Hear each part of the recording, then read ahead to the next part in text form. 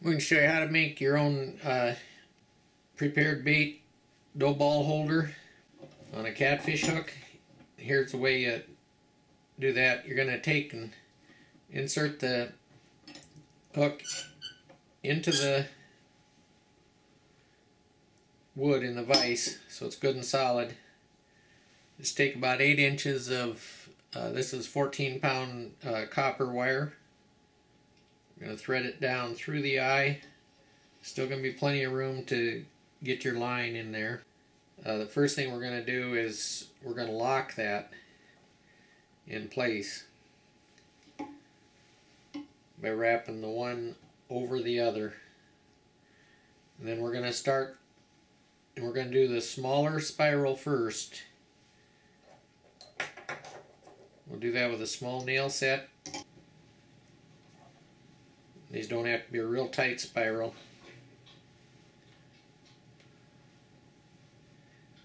And we're not going to cut these off or anything. We're just going to leave them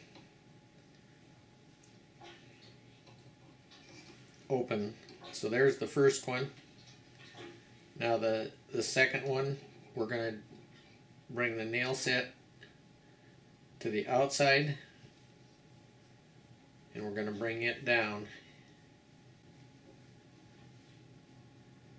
like so.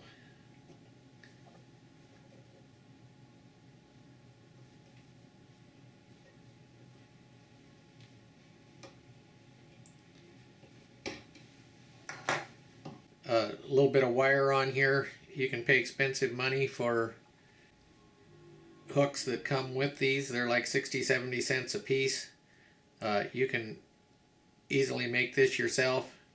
Just press your dough ball into this. Uh, fish bites. Uh, this is gonna. This is light enough, flexible enough. This is gonna push right back out of the way, and uh, it'll it'll work real good for holding dough baits because uh, once you get it pressed down in there uh, that's going to stay in there for a while uh, you can always take and put just a little piece of fresh bait up here uh, so you, you've got a combination going